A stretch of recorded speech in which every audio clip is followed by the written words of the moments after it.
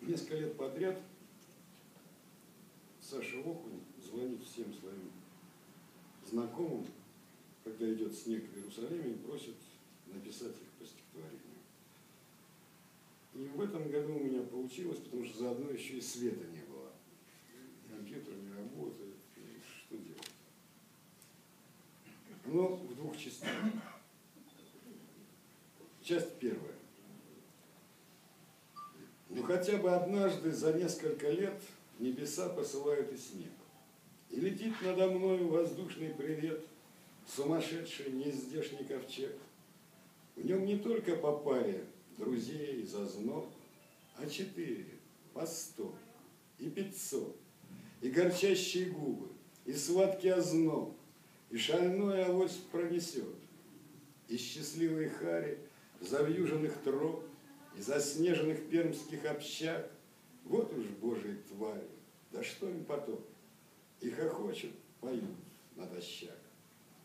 Молодые года, и живая вода, и подумаешь, блин, холода, и потоп не беда, и взахлеб не беда, а метель вообще ерунда.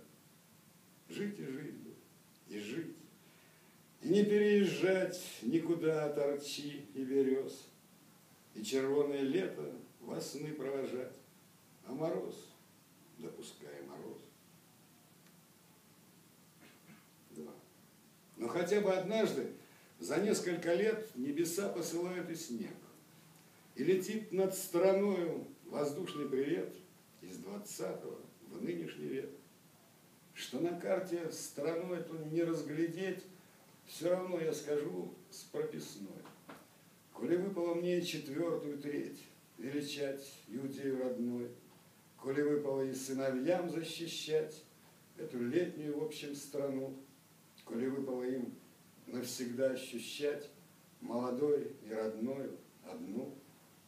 Я об этом по-русски сегодня скажу, но мог перейти на иврит.